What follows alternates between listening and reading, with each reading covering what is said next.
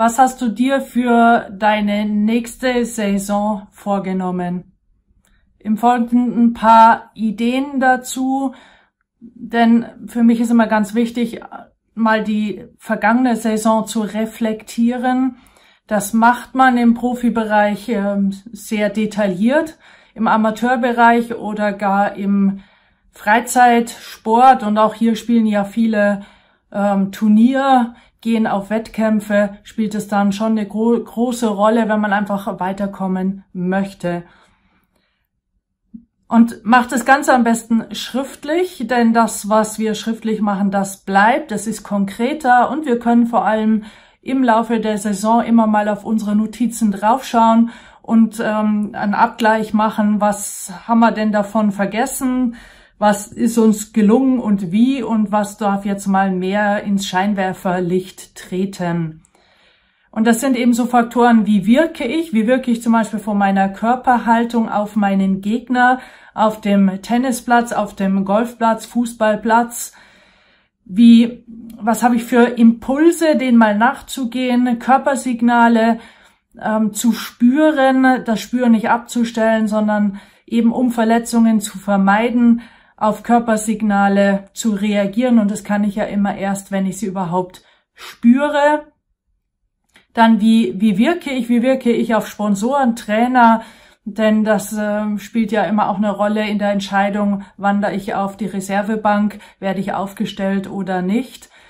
Punkte Fokus, äh, Konzentrationsfähigkeit, wie konzentriert gehe ich wirklich an meinen Sport heran und an das, was ich mir vorgenommen habe. Klarheit über meine Handlungs-, Prozessziele und Ergebnisziele wobei in der Motivationspsychologie ganz klar Handlungsziele, Prozessziele als die erfolgreicheren, motivierenderen Ziele beschrieben werden. Also statt sich auf, und äh, da nehme ich mal gerade die Handball-WM und deutsche Mannschaft äh, als Beispiel heran, das äh, eine Hypothese, wieso sie im Halbfinale ausgeschieden sind. Und das kann nur eine Hypothese sein, weil ich war definitiv nicht dabei. Ich war im Fernseher dabei, aber nicht vor Ort. Ist natürlich einmal, dass sie sicherlich gegen Norwegen in der Favoritenrolle waren und ich habe schon viele schlechte Halbfinale erlebt auf beiden Seiten.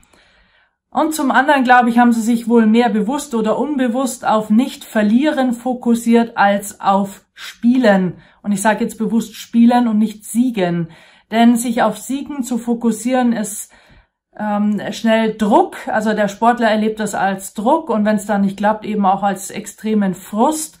Sondern ich würde mich immer wieder fokussieren auf das Spielen und zwar, wie muss ich spielen, damit wir den Gegner besiegen, damit wir gewinnen und dieses Spielen dann einbezogen eben in die Taktik und da jemand mit einer ordentlichen Ansprache ähm, rausschicken, so dass die Spieler wirklich höchst motiviert dann ins Spiel gehen. Also das Thema Fokus, Konzentrationsfähigkeit, Klarheit und Fleiß, weil ohne Fleiß, ohne ausreichendes Training sind halt einfach keine guten Ergebnisse zu erwarten.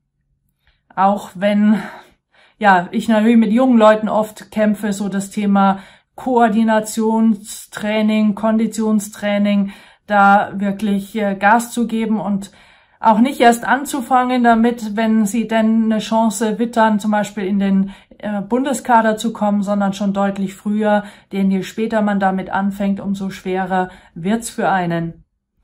Im Folgenden jetzt so, habe ich mal einzelne Faktoren noch rausgegriffen. Das Ganze kann man dann auch in einem Seminar Sportmentaltraining vertiefen. Ist zum Beispiel auch die Trainingsgestaltung und auch jedes Training eben zu analysieren. Da gibt's dann in meinem Ordner zur Ausbildung vom Sport Mental Coach ein, ein Arbeitsblatt dazu und ich werde euch online ein Reflexionsblatt ähm, online stellen, was euch dabei unterstützen kann, euch immer wieder zu reflektieren. Also gerade als Trainer mal in der Zeit zwischen zwei Saisons sich Gedanken zu machen, was kann ich in meinem Training ändern, innovativ sein, abwechslungsreich gestalten, denn unser Gehirn mag Abwechslung und Emotionen, um motiviert zu lernen und nicht immer wieder mehr vom selben. Daher schau auch immer mal, ob du im Konditionstraining nicht mal zum Beispiel die Joggingstrecke abändern möchtest, variieren möchtest oder auch mal die Trainingsgruppe ändern oder jemand anders mit reinnehmen, weil wie gesagt, unser Gehirn liebt die Abwechslung. Dann arbeite an deinem Selbstvertrauen, denn das ist das, was wir von echt Top-Leuten lernen können. Die wissen, was sie können, die wissen um ihre Stärken, Talente und Fähigkeiten, die glauben an sich, die vertrauen, dass sie wiederkommen, auch wenn man zum Beispiel mal ein Jahr hinterher golft oder jetzt im Skispringen hinterher fliegt, den Anschluss nicht so recht finden mag wie gerade Wellinger und doch weiterzumachen und eben nicht liegen zu bleiben. Mir kommt dann immer so dieses, ja, als Baby, ja, wenn man, da sind wir so oft hingefallen und immer wieder aufgestanden. Und heute geben viele Menschen so früh auf, als statt sich daran zu erinnern, wie war das denn als, als Baby? Wir hätten ja alle nicht laufen gelernt, wenn wir damals nicht immer und immer wieder aufgestanden wären. Also arbeite an deiner an deinem Selbstvertrauen. Da gibt's äh, viele Möglichkeiten. Ich greife jetzt mal nur zwei Sachen raus. Das eine ist für ein Leistungstagebuch, Erfolgstagebuch, ähm, wie immer du es nennen möchtest, überlege mindestens einmal die Woche, welche Erfolge du die letzten Tage zu verzeichnen hast und schreib die da rein. Mach sie dir bewusst und denk dran, Erfolg heißt nicht immer so was Großes, das kann auch was Kleines sein.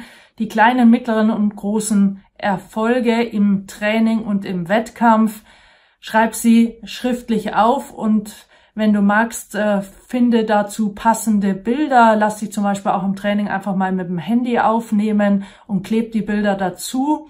Denn wir äh, denken in Bildern und ähm, überleg mal, wieso machen wir Urlaubsbilder?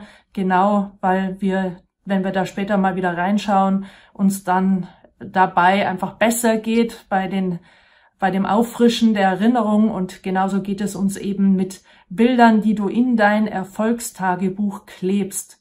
Und du kannst natürlich das Erfolgstagebuch auch noch ergänzen um Glücksmomente, Momente, wo man, wo es einfach mal alles zusammengegangen ist, wo man im Flow war und Flow heißt eben in einer Tätigkeit voll und ganz aufgehen und dabei die Zeit vergessen, wo man sich in seiner Haut und Körper so richtig wohl gefühlt hat, wo man vielleicht einen ganz entscheidenden Impuls bekommen hat äh, oder ein, ein gutes Feedback.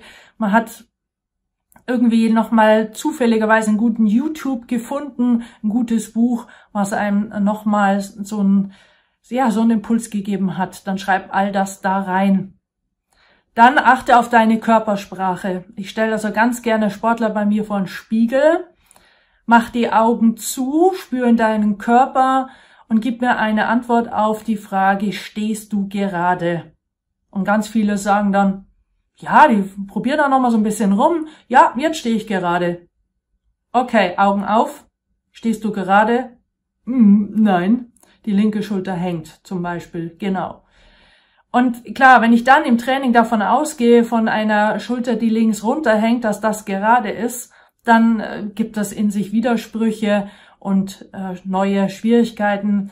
Und das haben wir uns so dann an der Stelle noch nicht bewusst gemacht. Das andere ist halt, wie wirkst du auf den Gegner? Ähm, denn das kann man natürlich dann auch als Gegner ausnutzen, wenn ich an der Körpersprache erkenne, da hat jemand eh schon resigniert, dann hau ich da nochmal ordentlich drauf, ähm, hau nochmal den Tennisball ordentlich über das Netz und ähm, bin, gehe dann als Sieger vom Platz. Das ist gut, das im Alltag zu üben, denn es ist dann unter Stress leichter abrufbar, wenn es eben normal geworden ist. Du kannst dir ja mal so eine, ein, Symbol suchen oder du stellst dir einen, Wecker oder ähm, stellst eine Erinnerung in dein Outlook ein und alle Stunde macht so, poppt's auf mit einem Wort oder einem Bild und du spürst mal gerade in deinen Körper rein, machst mal wieder bewusst so dieses Schulterblätter zurück, aufrichten, äh, Kopf hoch und eben nicht Blick so auf den Boden, Mundwinkel nach unten und äh, es wird alles eh nix. Ja, weil das ist die selbsterfüllende Prophezeiung. Versuch mal wirklich mit, mit so einem aufgerichtet richtig schlecht drauf zu sein und du wirst merken, das geht nicht. Und versuch mal, wenn du dich auf so einen Stuhl setzt und lässt mal wirklich so alles hängen, Mundwinkel, Schultern, Kopf, ähm, ob es dir dann gelingt, wirklich gut drauf zu sein und ähm, ja, so in dir stimmiges Gefühl abrufen zu können, das ist eben auch ein Widerspruch in sich. Und es ist halt wichtig, an vielen kleinen Punkten anzusetzen, um den eigenen sportlichen Zielen näher zu kommen. Und Körpersprache ist ein Punkt davon. Und auch wenn du vielleicht nicht Golf spielst, aber in meinem Buch Golf Mental sind interessante Bilder aus dem Bereich des Embodiments, die auch die Wechselwirkung zwischen Durchblutung des Körpers und dem aufgerichtet oder nicht aufgerichtet sein des Körpers aufzeigen, dass wir, dass unser Körper am besten durchblutet ist, was gut für die Muskulatur ist, wenn du eben aufrecht bist und aufrecht durchs Leben gehst und nicht mit hängenden Schultern, hängenden Mundwinkeln durch die Gegend schlurfst. Dann hol dir Hilfe, hol dir wirklich, äh, such dir Menschen zum Austausch. Ich reg heute immer wieder an, ruf äh, Sportler an, die schon weiter sind wie du oder vielleicht sogar schon aufgehört haben und dem Sport noch in irgendeiner Form verbunden sind und hol dir Impulse, denn diese Sportler haben einfach schon die Erfahrungen und du musst ja nicht erst in alle Fettnäpfchen tappen, ähm, um diese Erfahrung zu machen und daraus zu lernen. Also schreib eine E-Mail, weil was, was kann passieren? Also mehr als dass der andere sagt, du äh, hab da keine Zeit oder du bekommst eben gar keine Reaktion. Mehr kann ja nicht passieren. Und ich erlebe Sportler eher als, ja klar, gib dir eine, eine Rückmeldung, ruf an. Und es war ja nie leichter als heute. Man kann skypen, man kann über WhatsApp miteinander telefonieren und sieht sich dabei. Man muss ja dann noch nicht mal immer losfahren, wobei natürlich das Vier-Augen-Gespräch in meinen Augen immer das effektivste Gespräch ist. Also schau dir viele YouTubes an, lies mehr, schalt den Fernseher aus, da gibt's eh nur ganz viel Nonsens. Tausch dich mit Menschen aus, reflektiere ständig und bleibe im Prozess. Und meine Haltung ist für, für einen Sportler, der ehrgeizig ist und weiterkommen will, eh, überleg dir jeden Tag aufs Neue, ähm, was habe ich heute getan, um meinem Ziel ein bisschen näher gekommen zu sein oder um es mit Michael Jordan zu halten, er hat seinem Trainer immer wieder gesagt, hey Trainer, lass mich erst aus dem Training raus, wenn ich heute ein klein bisschen besser war wie gestern. Also auch eine, eine super Haltung, wie ich äh, mich verbessern kann. Dann habe ich aus Neuseeland äh, so dieses Thema Ruhe und Gelassenheit mitgebracht. Vier Wochen Neuseeland und einfach gelassene, freundliche Menschen. Und das nicht, weil sie besser verdienen oder weniger arbeiten, im Gegenteil, sondern es ist ihr naturell. Sie vergleichen sich, glaube ich, auch nicht so viel mit anderen Menschen. Sie sind, sie leben einfacher, sie leben mehr Beziehungen und auf jeden Fall sind sie einfach deutlich gelassener und ich habe mir persönlich ganz fest vorgenommen, diese Gelassenheit mit in das Jahr 2019 hineinzunehmen und zu bewahren und zu konservieren, da auch ich schon manchmal temperamentvoll sein kann und das äh, ja sich dann oftmals zeigt, wenn es am wenigsten Sinn macht oder gut ist für die Situation.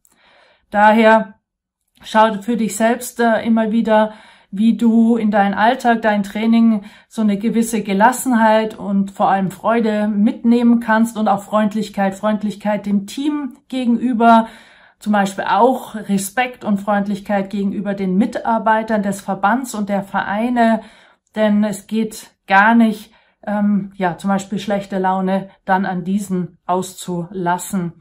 Und ich selbst nutze da gern die Skalierung. Skalier mal von eins bis zehn. Eins heißt, ich bin gerade gar nicht gelassen und zehn heißt, ich bin bestmöglich gelassen. Wo stehe ich jetzt gerade im Moment? Und was muss ich tun, damit meine Gelassenheitsskala zum Beispiel von 5 auf 6 geht, sich verbessert? Was ist es gerade? Muss ich mal äh, tief durchatmen, mir was zu trinken holen, mal gerade an Erfolgserlebnis denken, eine kurze Pause machen? Was ist es? Ja, also bau das in deinen Alltag ein, damit du es dann auch in Stresssituationen abrufen kannst. So, für heute glaube ich, habe ich mal ein paar Anregungen äh, zusammengefasst. Ich freue mich über deine Weiterempfehlung auch gerne unter dem YouTube, weil wir leben in diesem Bereich auch von Weiterempfehlung. Im August 2019 ist das nächste Seminar Sport Mentaltraining und die Ausbildung zum Sport Mental Coach findet im Jahr dreimal statt. Dann viel Spaß bei allem, was du tust und denk dran, immer Fokus auf deine Handlungen und deine positive Mentalhygiene.